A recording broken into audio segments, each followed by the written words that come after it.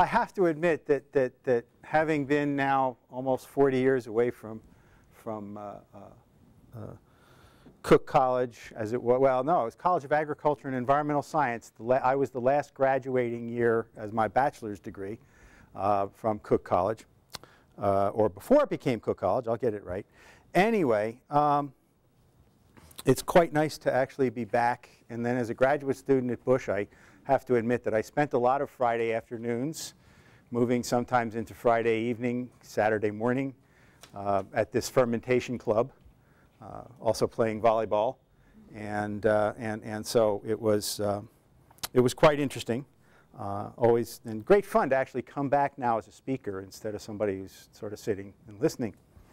Um, and I do have very fond memory. Doug, Doug's correct. Uh, we isolated Halomonas, I guess, when I was working on the Busch campus. And uh, about six months ago, I learned that that is now the largest microbial genus and family in the, in, in the world.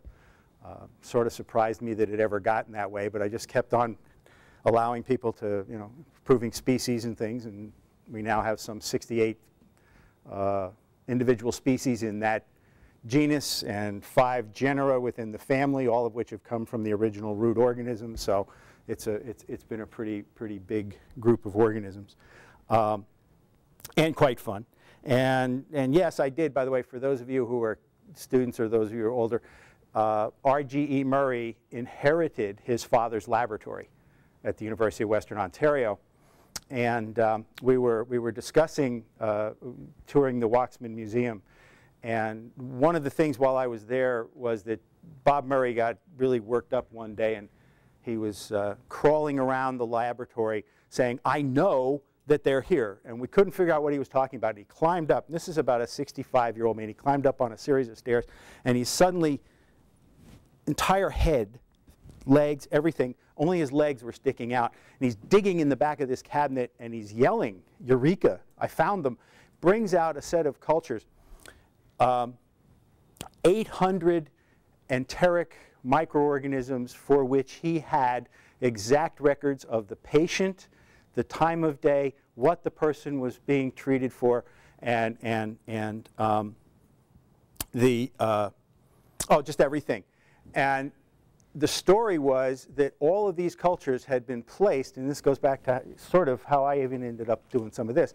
All of these organisms had been placed on slants sealed 10 years prior to the discovery of penicillin. And they had been put, and he remembered it because of the fact that he was the, his father. They were on brain, heart, and fusion agar, and his father brought him in on Saturday, handed him brains, hearts from the local uh, slaughterhouse in buckets, and said, Here, Bob, make me my media. And he had made the media that put these 800 organisms in there. Um, and the, and, and the, the museum in London was now coming over to, do, to, to see whether or not these organisms were there. And that was the group that, that they did the survey on of multiple drug resistance prior to, uh, prior to that date. Uh, they had been in culture in these tubes now for some 80 plus years. And over 80% of them were still viable. So we were actually spent a, quite a bit of time re-isolating all these salmonella and E. coli that had been put down well before those early years. So that was kind of a, a, a, stimulatory aspect of the interest that I ended up with, and we are far older than that. Um, but I will tell you the exact way that this thing started. Every, a lot of people say, how did you ever, how did some guy who runs around in the oceans and gets trained in uh, uh, marine microbiology at Rutgers and works on the uh, uh, coastal, marine coastal groups and everything. How did you end up underground in some geologic formation? And I like to say that it was because one of my students during one of my classes, and, and this is actually true, raised their hand and asked me how long I thought a microorganism could survive in a salt crystal. And I couldn't give him a really good answer. I could give him some anecdotal answers and said, oh, you know, maybe 100 years, 150. And finally, he went out and got a sample which we thought was a 50,000 year old uh, uh, salt isolated an organism. Turned out that that salt was a lot older. It was from a flooded mine in Louisiana. But that started all this stuff off. And since then, uh, Let's see if this works. Since then, we have moved into studies on ancient organisms, ancient microbes. Um, and, and why we do it or what they are interesting in, well, the first thing is that they do provide a great window into the state of biological systems uh, back in those ancient periods. I mean, you're just dealing with an organism, particularly when they're live, and many of them are, you're dealing with an organism whose biochemistry was made to, to, to, to, to reproduce, grow, and do everything on an Earth that we no longer can see. And so what we can actually ask questions of is, okay, what's your biochemistry like? What kinds of things do you prefer? What kinds of things do you like to eat? And doggone it, if they basically look like today, you can begin to say, well, maybe there's just a whole lot not different. Uh, so you can learn some things about the, those ancient periods. Um, I was discussing this this afternoon, and this is a big one, is, is, is uh, this is survival and stability of these microbes and these macromolecules far beyond anything we're able to accomplish. Uh, I mean, you know, uh, you know, hundreds of millions of years, even hundreds of thousands of years, and these things are naturally preserved, still functional, and, and, and still, in some cases, viable. Uh, and we can, in fact, and you'll see in a little bit, uh, we can even sequence DNA from even older materials. So it's, it's quite uh, a, a, good thing. This is something that I've been coming up with as, a, as sort of evolving, I guess, myself into a geologic microbiologist. I think that we uh, overlook the fact that, I, that, that of the importance of microorganisms and their relationship not just with the soil but with the very rock of the, of the planet. I think these are part of Earth's gene bank. I think this is a natural process. I think organisms, and we have actually data uh, that I, I, won't have time to show you today. That's a whole nother lecture. But I, we have data that actually shows that given the opportunity, these, many of these microorganisms will, in fact, actually swim into the rock and allow themselves to be trapped. And they will form a huge biofilm where that rock is going to entrap them, and you will not find a single organism along the surfaces that are not going to form into these inclusion areas or into these, these water trapped areas uh, of the rock. So literally they have evolved and moved on uh, in such a way that they are basically in there and the rock goes back under, rock, rock goes underground, comes back up, releases the organism, and you just have this sort of microbial process. So personally, I have to admit that I'm real glad to hear, uh, I had a, a, a, geologist at National Science Foundation one time say to me that that he was so happy because his program was funding mine. He was, he was so happy to know that geologists had discovered there was life on Earth. And my response to that was, and I'm happy that microbiologists have discovered there are rocks there too. And, and, and that's part of this, this whole sort of thing. Um, it does place a date. We can actually, I'll show you in a little bit. This is, you're going to see the first data um, that we've been able to develop that actually places a datum on evolution, not in the sense of, okay, this, this T-Rex is sitting here in a 65 million year old rock formation, but I'm going to show you at least one genus of microorganism we can, I, am pretty sure we can place a, some sort of a date on to say before, prior to this date it wasn't here. After that it is here. And that, whole, that has a whole lot of um, implications. If you're a person like me, and, and, and I have to admit, uh, and I have to credit uh, Rutgers, to be honest with you, uh, for instilling in me a really highly interdisciplinary or love of interdisciplinary knowledge. I just, I, I just love working with people in as many different fields as I can. This happens to be an extremely highly disciplinary field. You'll see that in a little sec, in a, in a little bit, but it's, it's, it's great fun. Uh, truth is, it's just plain neat. Okay, I it's cool. Okay, putting a hard hat on, going underground, going into a mine, mucking around, banging on a wall, you know, it's great science. And, and, and the fact is, it's really fun when you can go down, you're muddy, dirty, banging around in a rock, and then you come back up and you progressively end up working with that same piece of rock, but when you finally end up working with it, you're in a clean room wearing double sterile gowns, in a hood, with air samplers being taken all around you and somebody sitting there and saying, if I get a microbe, you got to stop, you know. And so it's, it's, it's really cool that way. And there's one other one that I like to say and, and, and like to remind people, and I hope you can see that.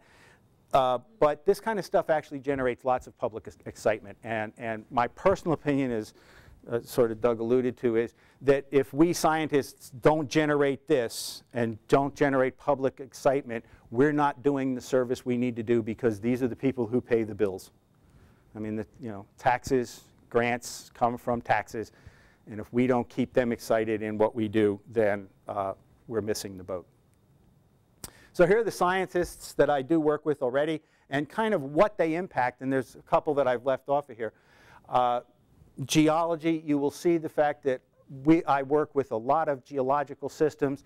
I always work with geologists because it is the geology that provides the context for all the interpretations. It provides the data, helps determine the age, and also is the thing that helps you determine the pristine nature. One of the biggest problems with this kind of research is that you've got to be able to say, this is a pristine sample.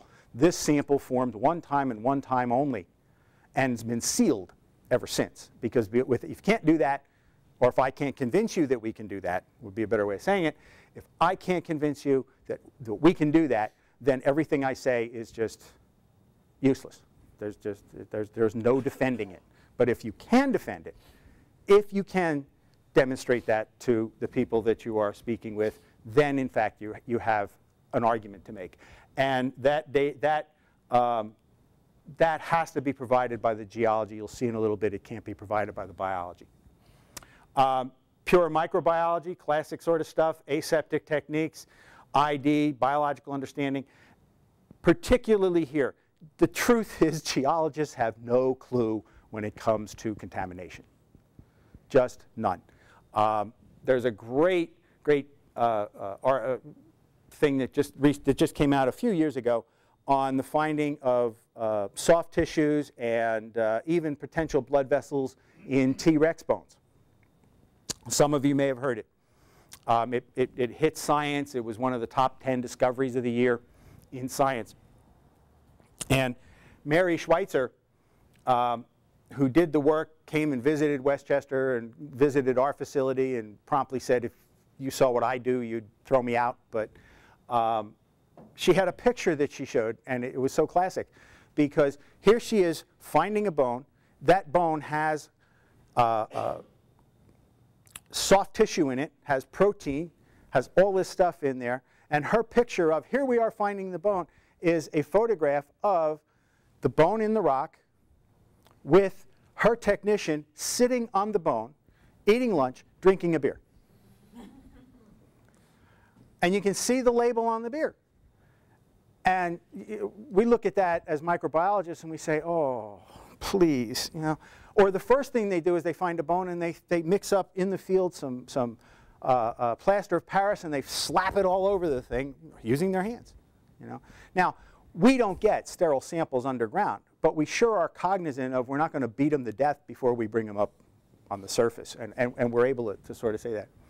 Um, and then, of course, there's molecular methods, uh, obviously providing phylogenetic inference and things like that. One I haven't led, put on here right now, or I've left off of here, is the physicists I also work with, uh, who literally helped me work on the uh, potential survival in radiation and radiation uh, causes and all sorts of stuff. So. So let me give you some evidence of stability, and I hope you can see this. This one, unfortunately, might be washed out a little bit. Um, let me see if I can knock out this light for a few seconds. I know our, uh, okay? So this is actually a salt pan in Tanganyika. Um, so it's modern. But one of the things that happens is this is a natural salt pan, so occasionally it floods. Then it dries down. As it dries down, that that salt and that uh, soil crack. And you can see these cracks right here, like that. And we've all even seen these, these cracking. You, you see it right in your own garden, and you see it right in your own lawn. When you get enough dry weather, you get those soil cracks. Well, the truth is this can only happen on the surface of the earth, where you have drying drying that gives you cold and heat because this is an effect of simply heat, then cold, heat, then cold. And so you get these, these, these expansions and contractions of the soil matrix, and eventually you get the crack. All right? So this is an example of surface type events. Here's the crack. Here's the crack. See it? There, there, goes right around to there and back up. But this crack is in 125 million year old salt and it's 800 feet underground. So what that says first off is that this formation was above ground, sank, but has not been, it has not in the intervening, oops, well, there it is again, it has not in the intervening time been destroyed. It has not had geologic movement like this. It has not had water running through it that would dissolve the system and change it. That's a surface feature that exists underground. In Hutchinson, Kansas, I don't have a good photograph of it because it's very small, but in Hutchinson, Kansas, we have a site that we're working on where right up in the, right up in the, I keep doing that, um, right up in the, I'm just going to sort of show it here, but right on the side of the wall, you can look up and you can see ripples from waves as they moved through the formation. And when you stand in the uh, mine with your light on your head, and you kind of go like that, you can see those ripples going down the ceiling, and you can, in fact, orient yourself to say, all right, it was going that way. The water, the waves were like that. That's a surface feature. And you can't get it anywhere else except in a surface environment where the water is being blown by the wind. And you've all seen it when you've been on the beach. Exact same sort of thing. In under Detroit, uh, I, I'm, I'm, I'm one of the folks that when I go to Detroit, I go underground and I actually get the best view. Um, but, but in Detroit, there, I hope there's no Detroit folks in here. I probably just insulted. um, in Detroit, we actually have areas of the formation where we were able to pull down the uh, rock above and we have puddles from the rain still remaining in that rock. So these sorts of things are the first indication that in fact this is a stable rock, this is a stable formation formed one time, one time only, and these are the only kinds of formations I use. Do you need the lights back on? Okay. Um, Here's another form of uh, uh, stability that we also look for.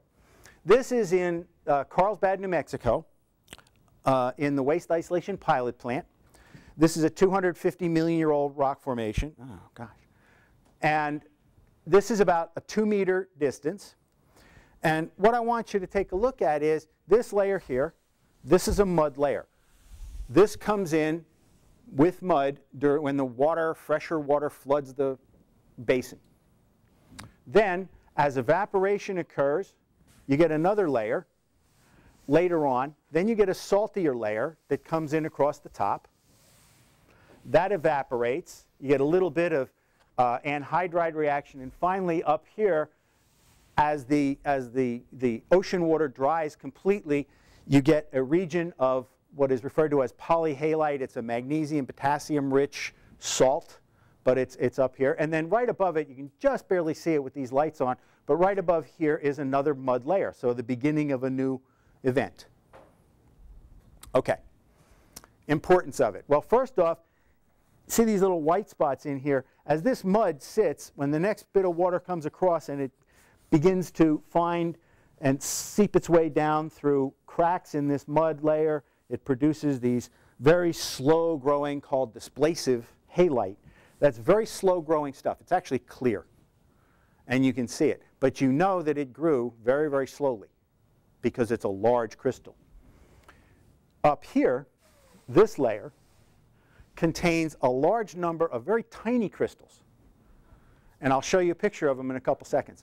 Tiny, tiny crystals that show evidence of growing in hot weather, cold weather, hot weather, cold weather, hot weather, cold weather. And we can look at the individual crystal and know that. Now, you're underground. This is 2,150 feet underground. The temperature here is a permanent 60 Fahrenheit. You can't grow a crystal hot, cold, hot, cold, hot, cold in permanent 60 degree weather. It's just going to grow in one way. One more part of this stability. Notice how flat this is? And that is? Actually, the next layer is up as well. This here, the water washed in, washed off over this, cut this off, and then stopped. But this flat layer here and here, this is actually called the marker bed in this mine. And the marker bed is a bed that, that miners choose for its stability. And in the southern part of the mine, this is right about where it is here. It's right about eye level. And you can follow this bed through five miles of, of, of uh, five miles north-south, two miles east-west underground. And it will be at eye level the entire time. If you decide, as they did uh, here, that they wanted to go up a layer, then you simply take this marker bed and rather than keeping it at eye level, you move it to your feet and you go up. And in the northern half of the mine, which is another three miles in all directions, this thing sits at your feet. So what it says is that that formation was laid down and then didn't do this, didn't get washed around. That is stability. That is as stable as you're going to get it. So it also says that this is the order in which these occurred. And in fact, if you date them, this is a little younger than this, et cetera. Well, the mud is. These salt crystals here are this age. And you can go right on up. And this whole formation is like this. It's been actually, the geologists uh, did this mapping all the way from 2,150 feet uh, all the way up to ground surface every 10 meters. So we have a really good history uh, on this thing. Okay, now I mentioned the hot, cold, hot, cold, hot, cold. When salt crystals grow, such as in Puerto Rico, in Cabo Rojo, or anywhere, when they grow quickly, when a salt crystal or a crystal grows quickly in, a, in a, an aqueous environment, one of the things it does is traps water. But growing quickly, it traps that water in tiny little inclusions.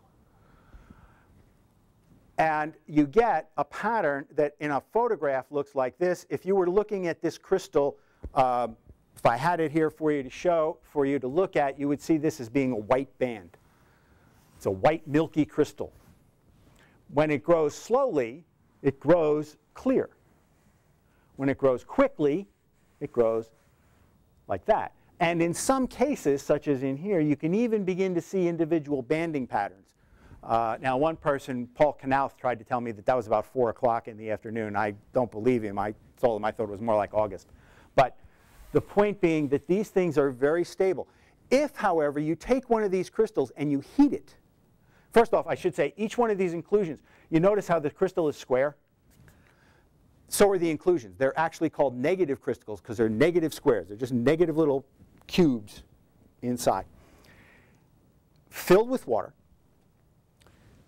and if you take these individual inclusions and you take these kinds of crystals and you put pressure on them, or a lot of heat, dissolution effects and chemistry take over, and these square inclusions become elongated and they take on different forms.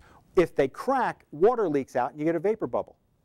So by taking these crystals and looking at these things, we can tell whether or not they were original, primary, we can tell whether they've cracked. We can tell whether they've been heated or cooled. We can even, in fact, if I were to show it to you, we can even tell you how, which direction the heat came from by the elongation pattern.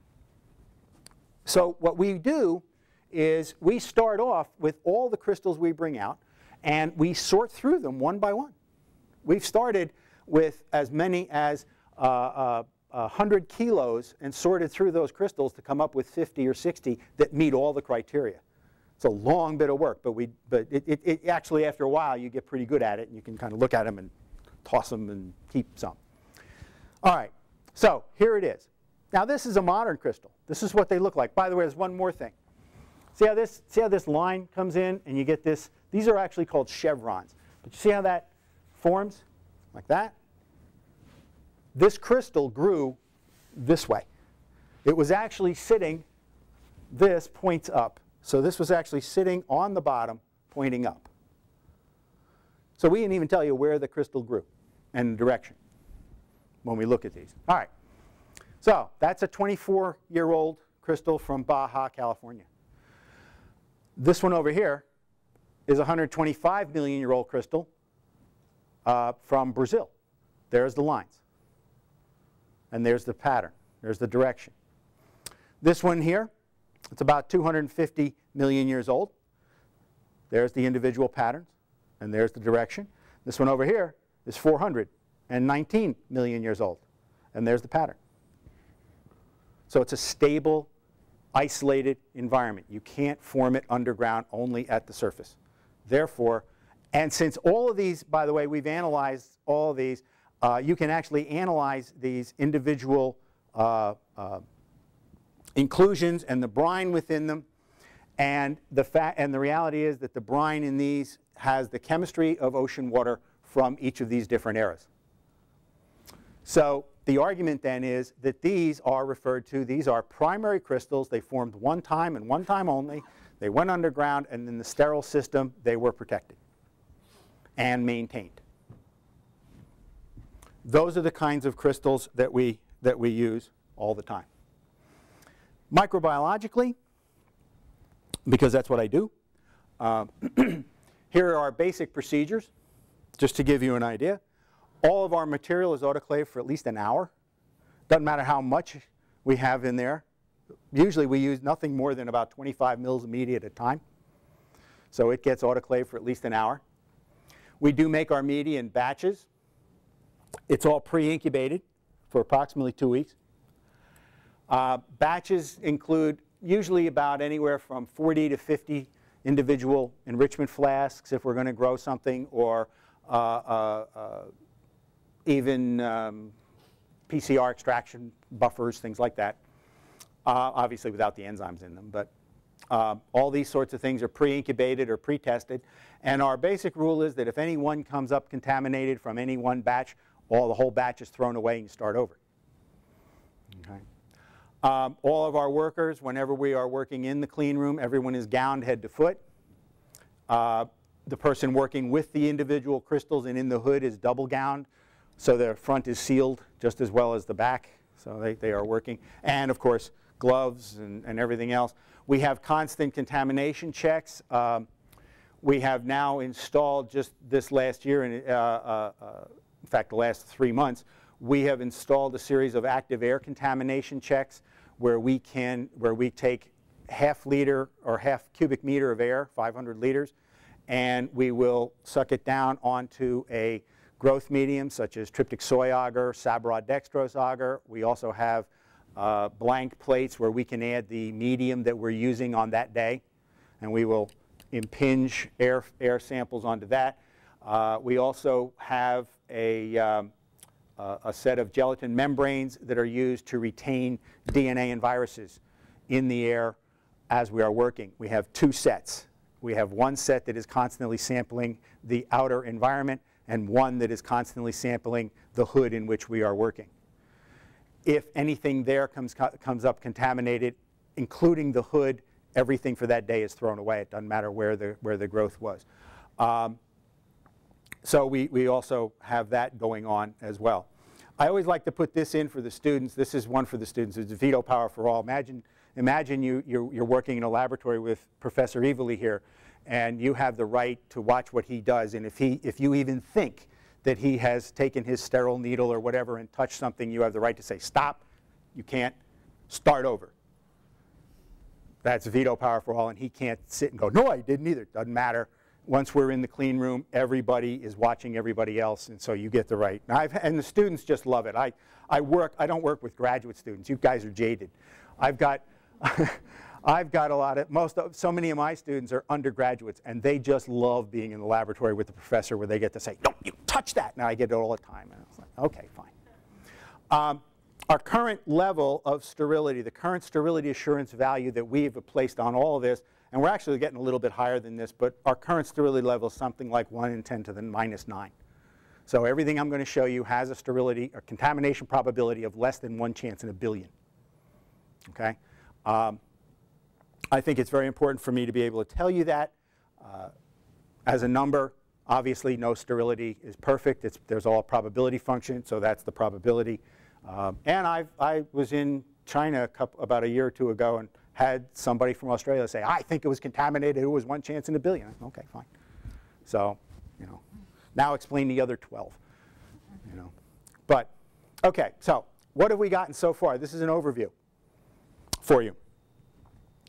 In 22-year-old uh, uh, crystals, the 22, 24-year-old, that Baja California crystal I showed you before, we can isolate fungi, bacteria, archaea, DNA out of that, uh, every crystal.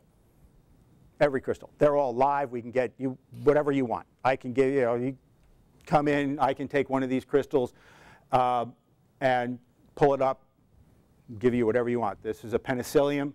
Uh, the bacteria, all different kinds, halophilic archaea and DNA from all of them. So it's not a, it's not a problem.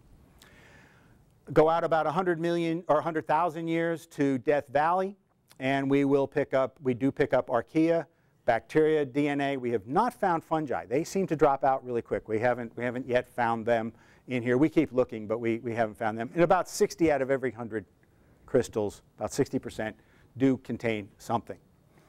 At uh, 8 uh, to 23 million year old, I just stuck the 8 in here, but at, at 8 to 23 million year old rock samples, we find a lot of archaea. We find DNA about 20% of the time. Um, at 125, we find archaea and DNA also, and about 8 out of every 100. Uh, I'll come back to this in a second. And then in the 250 million year old material and 270, we, we have found bacteria I'm not sure, well, I, I think I have a reason for why we find the archaea DNA here and, and no bacteria there, and then we find the bacteria here and we haven't found the archaea. We, we, we are uh, hoping to get a grant uh, starting again in June to test that, to, to test that theory. We'll, we're, we're, if, if we get it, we're going to be testing it in the Dead Sea and in uh, Hutchinson, Kansas, as well as uh, Carlsbad. And then at 412 million years old, 419, um, million. I was corrected on these. Uh, 419 million, this is under Detroit. We find DNA, and we find that in about uh, less than one in 100 crystals that we actually sample. Now remember, we've started off with this big winnowing and we've come down, so I'm talking about the 54 or 100 samples that we get out of that we accept to say we will sample these. All right?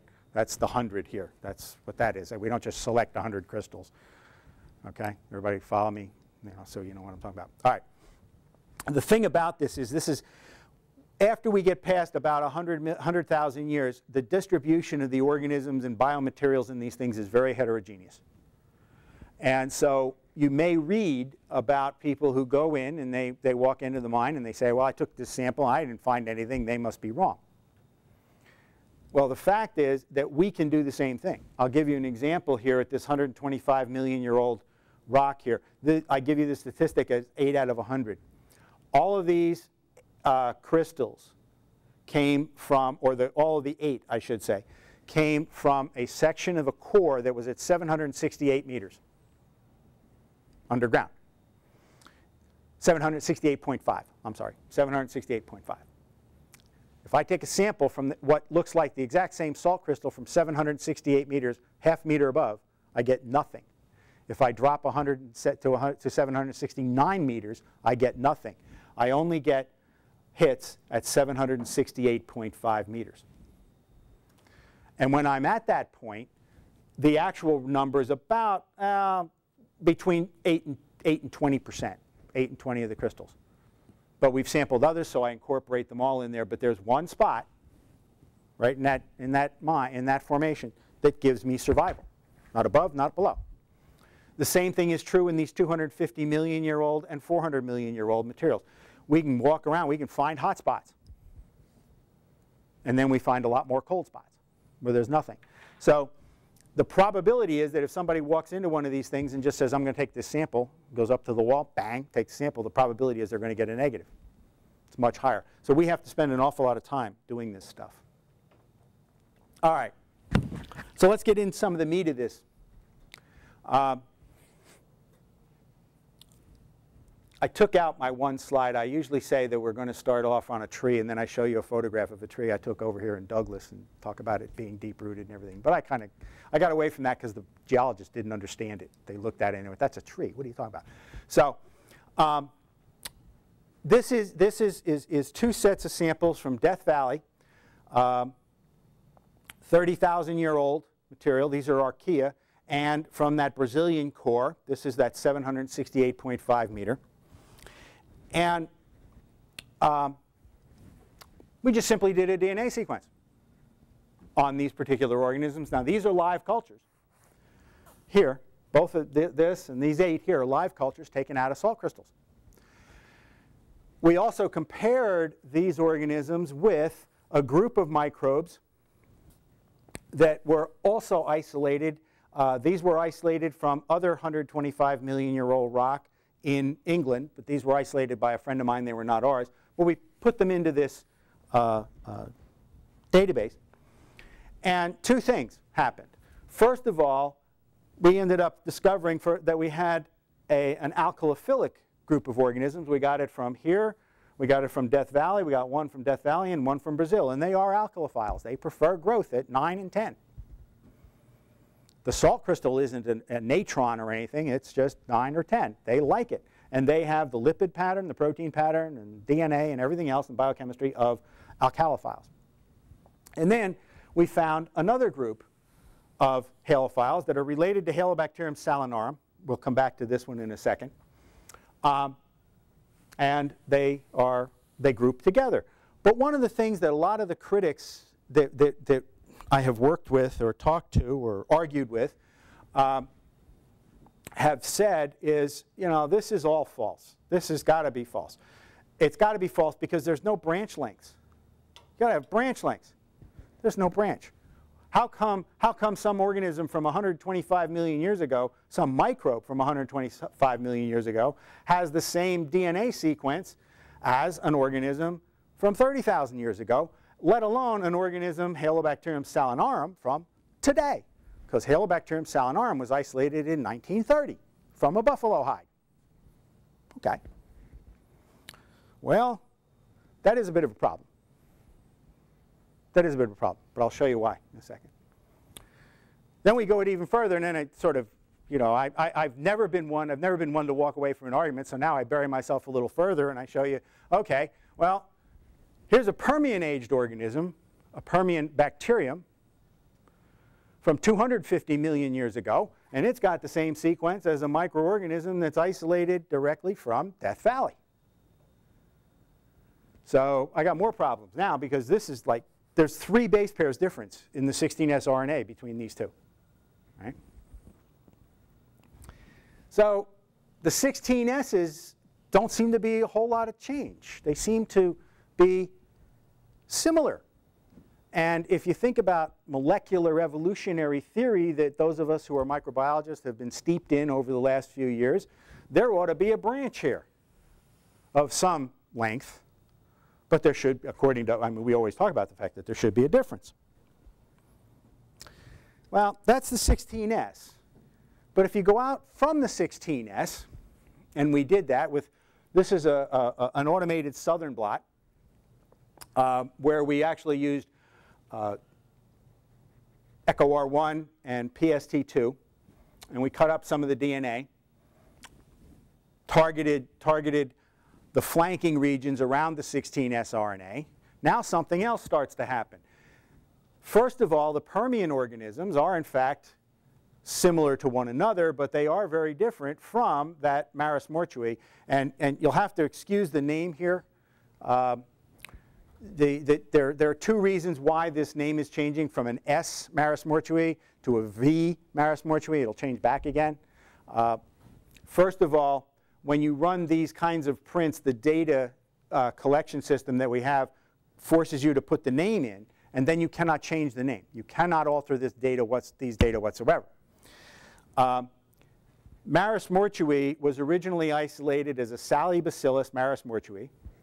Then my good friend in, in Spain, Antonio Ventosa, changed it to Virgibacillus Maris mortui, and I was fine with that. He, you know, I'm a somewhat taxonomist anyway, so okay, you changed it. Well, the problem was that as you'll see in the next slide, it, as you'll see uh, here, between my running this one and my running that one, he changed it back again. So he's changed the name on me, and that's why you see it. But this is the same strain, Maris mortui. It's the same organism. Um, hmm? Maris mortui for the Latin experts here. Oh, Maris mortui, yeah, uh, Dead Sea. Dead Sea. So stick at the Dead Sea because that name hasn't changed. Forget the other part. Um, same thing has happened with this, oops, with this Salibacillus and, and, and uh, everything else. But the point of this slide isn't to, isn't to argue about the taxonomy. The point of this slide is to show you how similar or dissimilar these organisms actually are.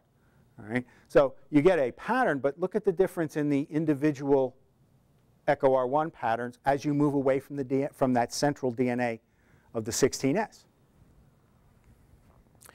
Um, you cannot, by the way, the differences between these organisms are so great that you can't force this machine. You can't, you can't widen your parameters wide enough to get this machine to, or get this system to say that this organism and that organism are similar. It just refuses to do it. We've also done it with lipid patterns, and the lipid patterns uh, are different as well. And we've done it one other way. Oh. This is not something that you normally use a rapid uh, gel for, but we said, what the heck, and we did it. So we did a kind of a shotgun uh, of uh, uh, primers in a rapid type of gel, and we ran it out. Um, and actually, this was done by, uh, confirmed by a group in Arizona. So here are the Permian strains, and here is the pattern of a Permian organism, like that. Here is that Virgibacillus, Salibacillus, whatever you want to call it, Maris mortui, and there it is there. And you can repeat it. You can do a variety of things. We've done this with six different sets of primers, and while you get a different pattern, you always get the same thing. That is that this pattern and this organism are not the same, despite the fact that they have 16S ribosomal RNAs that are almost identical. Okay? So again, as you move away from that core housekeeping set of genes in these organisms, you start to see differences. Um, we have also done these differences. I don't have the time to show you this, but we have we've done these differences. It's more salt tolerant, or, or it's more temperature tolerant uh, than than another organism, and less temperature tolerant than one from Tunisia with the same genes. I mean, once you get outside of these G DNAs, it'll have different biochemistries and and different sorts of things. So these are not the same organism. Their 16S ribosomal RNAs are the same. And that's a bit of a problem for us. So let's go on. Now, I'm going to apologize. I, am pretty sure uh, if I've got my, my list. No, I don't. OK. The next one is going to be one you're not going to be able to see. So I'm going to have to kind of explain it. But it's the only way to put it on there. But um, a couple of years ago, a friend of mine by the name of Eske Willerslev in Denmark, who also works on this, some of you may have heard uh, Eske's, uh, uh, of, of Eske Willerslev. He's the fellow who does the uh, DNA work in the cave bears and uh, human um, uh, migrations. strangely enough, he does it all in the United States, but his work is in Denmark. Um, also did work on polar bears, woolly mammoths, a variety of other sorts of things.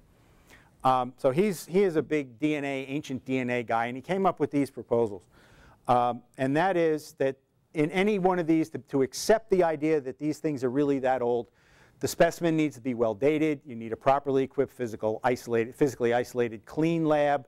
The sample moves from the clean lab to the molecular or culture room in only one direction, never goes back. You have frequent decontamination in your reagents, tools, all that sort of stuff. Uh, extensive decontamination, we do that. Uh, these salt samples, by the way, before we use them, are put into 10 molar sodium hydroxide for five minutes, briefly washed, then placed in 10 molar hydrochloric acid for, for, for an additional minute, minimum five minutes before we do any sampling with them. So they're pretty, pretty heavily uh, uh, sterilized and, and beaten up, um, in addition to being washed with, with other sorts of things we have blank controls. We do, amp we do our amplification. We can do relatively short or relatively long base pair uh, uh, amplifications. Um, cloning, PCR, we, I'll show you that in a second. Reproducibility within laboratories. This one I've argued with uh, in yellow. Uh, Eske, Eske wrote my name into the publication and kind of had me a little mad. But he basically said that before I'd be allowed to publish any of this really ancient stuff that I should send my samples to everybody else for confirmation and somehow wait until they were done before I published. And I said, well, I'm really not going to do that.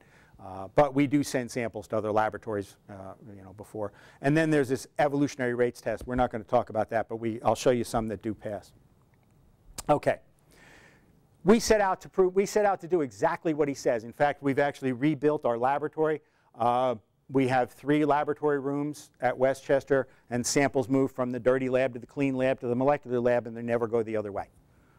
And those are physically separated on different floors. We're even getting ready to set up another laboratory in a, in a, in a completely different building to, if we have to, to, to do some of this work. So we've, we've accomplished all of these things, by the way, okay? Except maybe this one, we get our reproducibility afterwards.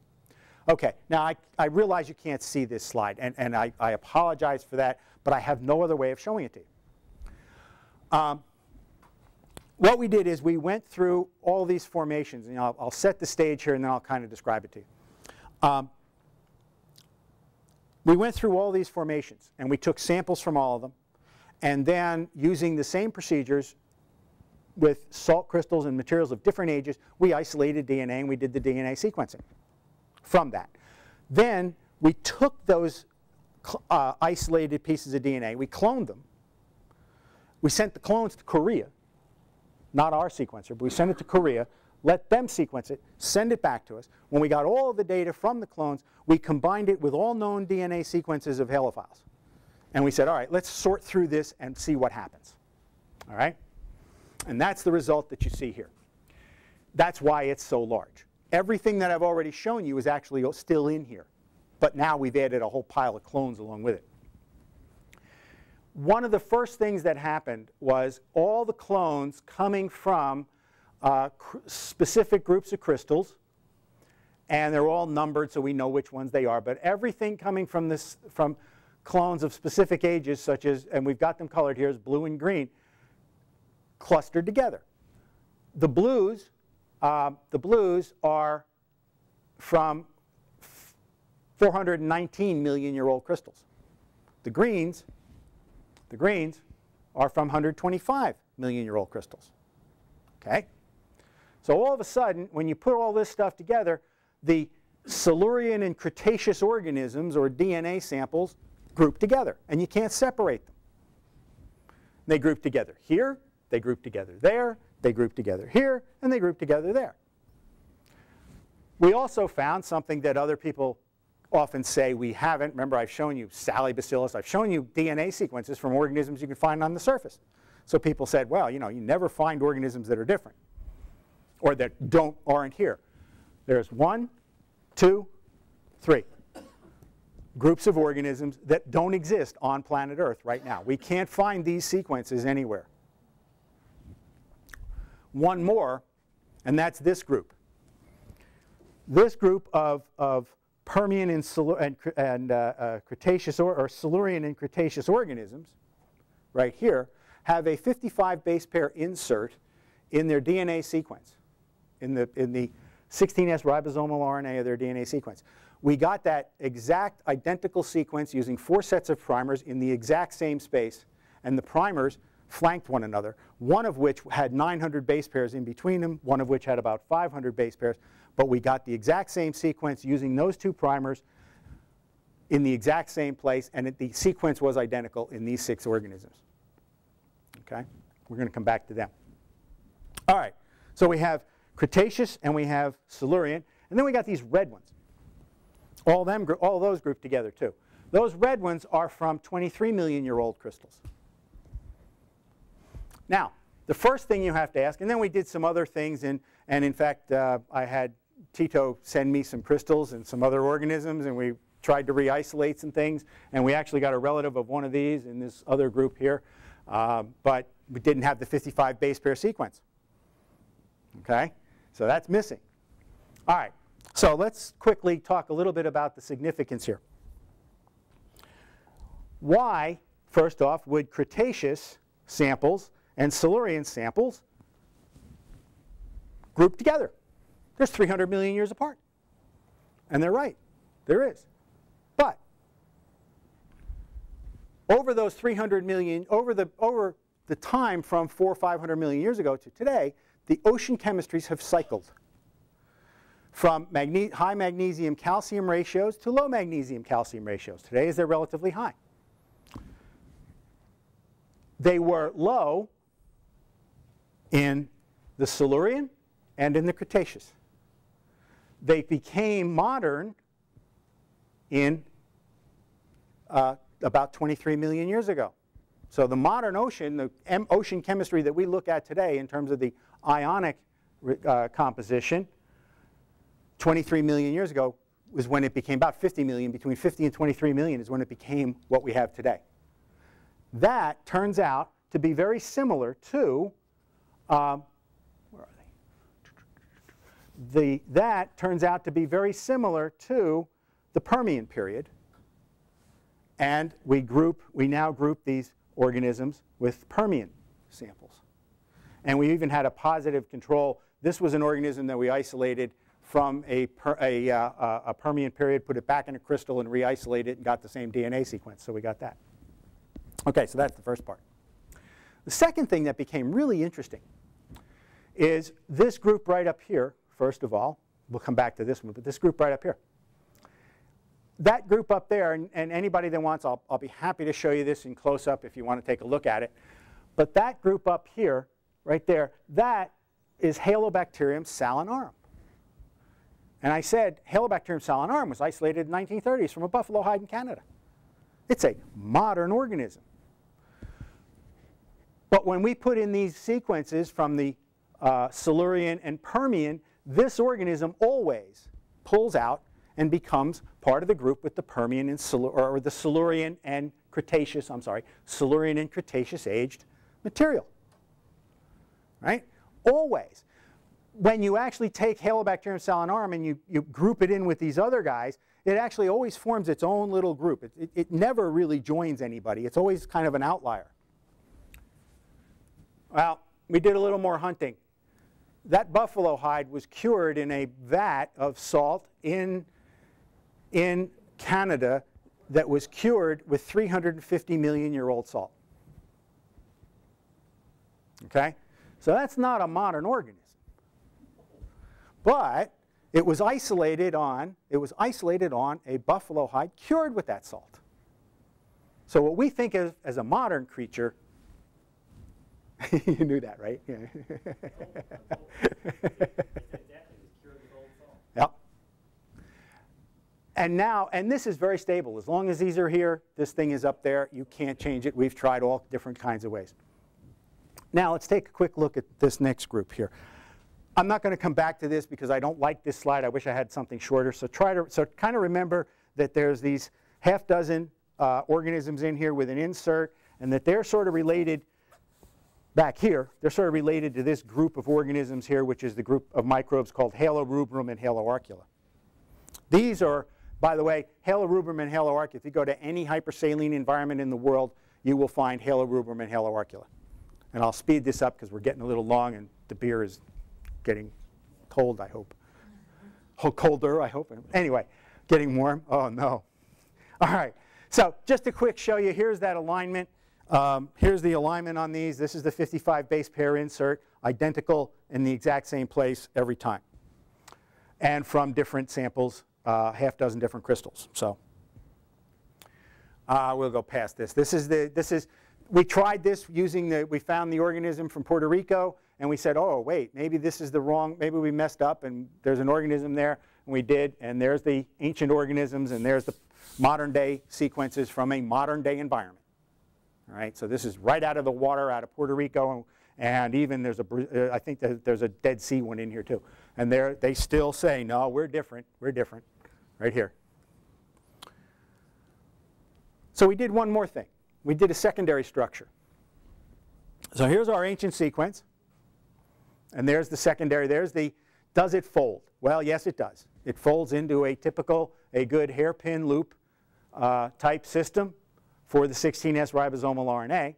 And then we just asked the question, if we took this out artificially and we inserted, we inserted into Halorubrum, Halobacterium, and a Haloarcula, what happens? Well, if you look pretty close, it's you're pretty easy to see what's going to happen. You take this out, you put it over here, and you get garbage. This thing is just completely messed up, just totally non-functional. If you take this out, or if you take this and put this sequence in right here, in Halorubrum, and you redo the secondary structure, you get this secondary structure. If you artificially take this out of the DNA sequence and refold this section, you get this. So what happened, what I think this is saying is about 23 million years ago, this 55 base pair sequence disappeared and Halorubrum evolved. And it says it from the geologic record. That's what all those other sequences are about. All those other sequences, all those red ones, they're all identical to this. Or very similar to this, I should say. They're like that. And you only find them. You only find halorubrum microorganisms, halorubrum in the geologic record past 50 million to 23 million. We can find them in any of the younger samples we sample. We can't find them in any of the older ones. So there's the datum on the evolution of at least one bacterial genus. So what's our problem? Is there a problem, or, or what is this saying, if you will, um, in terms of current microbial evolution? Some people often say that I'm arguing against the use of sequences. I'm not. I'm using them all the time. I'm arguing that we may need to reinterpret some of our looking do, do those lines that we see really have to be there? Do those lines that we, that we, those branches, you know, do those branches really have that kind of timing meaning that we want them to have? The actuality is maybe not. I think the fallacy that we all work with as microbiologists is that we have an expectation of difference. Um, we know, and, and, and that, comes, that comes down here in a second, but just think about that expectation. We have an expectation when we do these DNA sequences and comparatives, we have an expectation that there will be a difference based on evolution and based on evolutionary time. I think that our ancient microbes, all of them, even the living ones and the DNA that we're getting, argue that the clock, or that we, we like to talk about a microbial or evolutionary clock for housekeeping genes is, at least probably doesn't exist. If it does exist, as the uh, editor of Nature said, it's moving vanishingly slow, much slower than we think, um, which is that statement there. I think also we have, a, we have a situation where we have to look at that some sequences do work. They work best. Hypersaline organisms, they have a set of sequences that work for them. Once it works, if it's a housekeeping gene, if it's a housekeeping gene like a 16S RNA, don't change it. If you change it, you're dead. So they don't change, they just sit there. We have examples of that. I can give you many examples of that in eukaryotes. Uh, and, and this is really the, the, I'll say the fallacy in terms of the expectation. And that is that we know from the geologic record that eukaryotes are, oops, I keep doing that.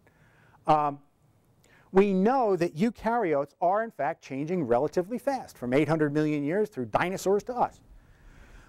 But microbes have been here longer, and I don't think they need to change that fast. I think what we're saying is if we apply this rapid evolution to microbes, I think we're, we're wrong. I think we need to look at microbes as being a whole separate group of organisms that don't change as fast. I don't know why this is. So what does all this tell us? Well, DNA work doesn't tell us the age of the microbes. That comes from the geology and the microbiological techniques. I don't know how old that sequence is, except the rock tells me how old it is. I think, again, the genes that are critical are not changing as fast as we think.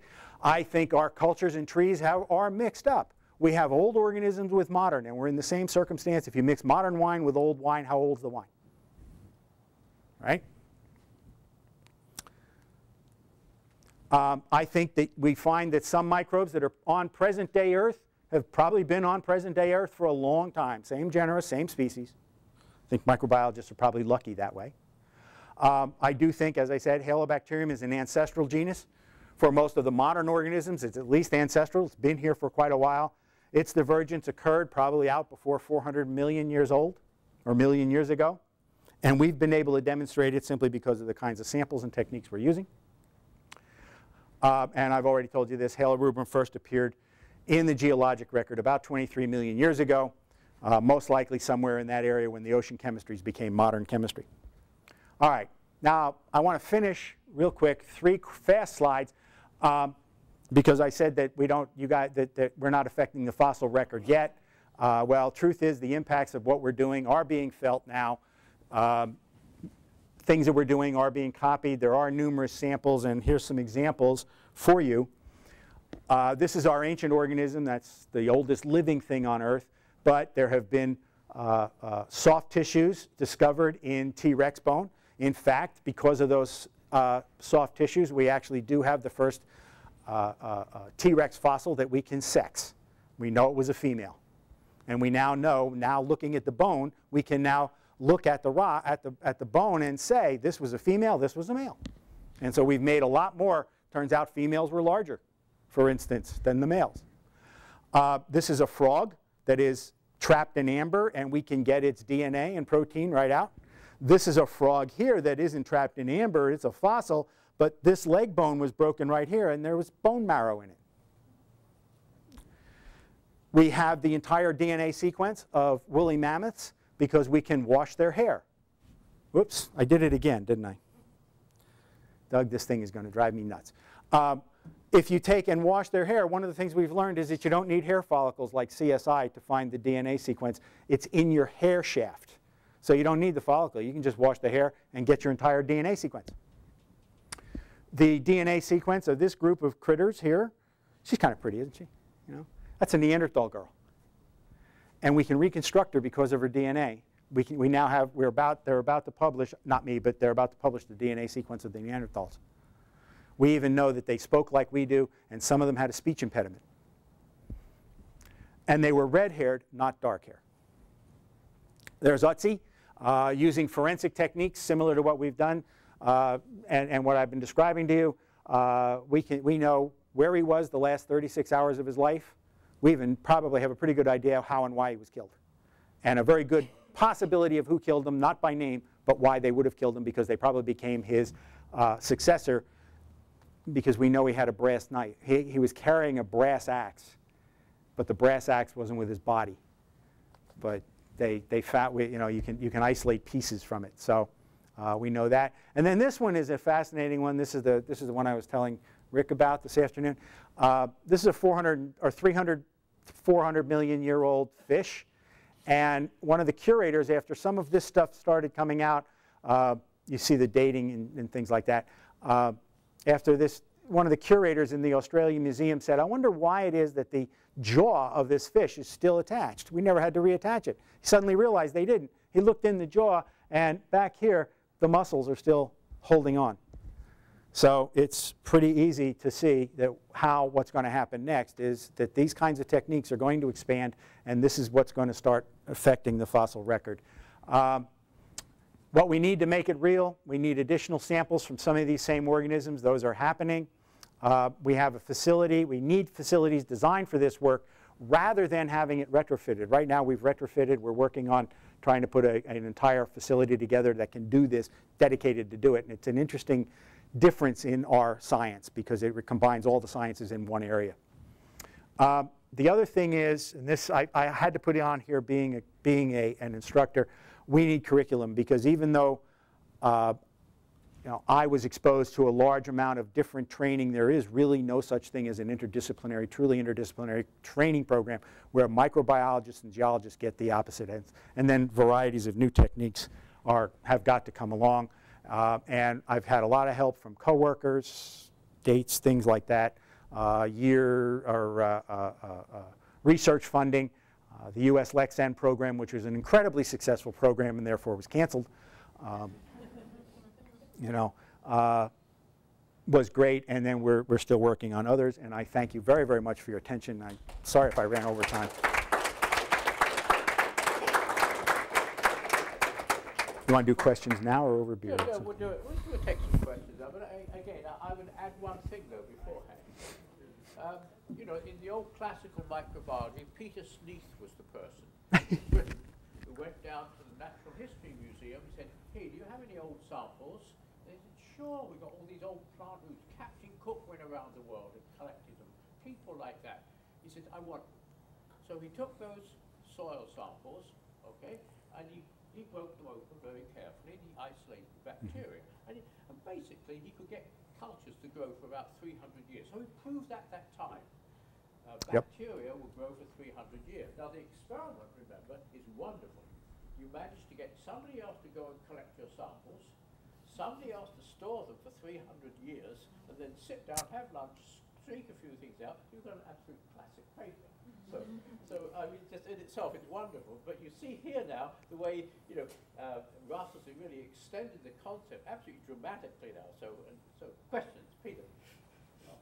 At the very beginning, you said something about the microorganism um, swam into the rock. Mhm. If they did that, the rock had to have existed before they swam into it. Mhm. So doesn't this play hard with the dating? No, because, no, because the rock seals when it dries. When the, when the salt crystals grow, oops, there you go. When the salt crystals grow, the, the inclusions are all actually connected in three dimensions throughout. And, and, and so you have this growth and one side is hooked to the outside, so the organism can swim in. But then, as soon as you get dryness, the first thing that happens is the outside seals. And then these sections here neck down to give you the individual pieces. So the result is that you may have thousands and thousands of these tiny little inclusions that are isolated within the rock and isolated from the external environment. So the dating is the date of the sealing. The dating is the date of the sealing, right, right. So do we have any idea how long it is between the time a bug swims in and the time it seals? Does it matter? It's, it, I- would say, I would say the answer to the, to part of that question is no, we don't.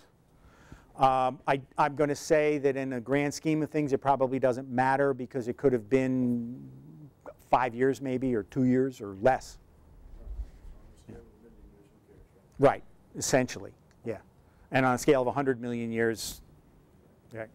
But um, we are looking at that, actually. That's a, that's a whole nother series of experiments it- it- that, that, that we are looking at. And we actually are using some of the organisms that I was referring to from Puerto Rico that we got out of a rock, we got it out of a crystal, and they, we can watch them swim into the inclusion and watch the inclusion close around them. And we, we've got photographs of that. Some of this is reminiscent of Thomas Gold's deep hot biosphere ideas. hmm Yeah, yeah, some of it, right. Uh, but, a- and I, I just think it's something that, that, that's happened over the, you know, over the course of time and, and, and they do it. Um, and it's quite fascinating. We're actually playing right now, we're trying to see what, what, what what is it that gets them in there? I mean, what attracts them to that particular spot in the crystal? And we can see it multiple times. Um, yeah, that's coming this summer, be the next paper.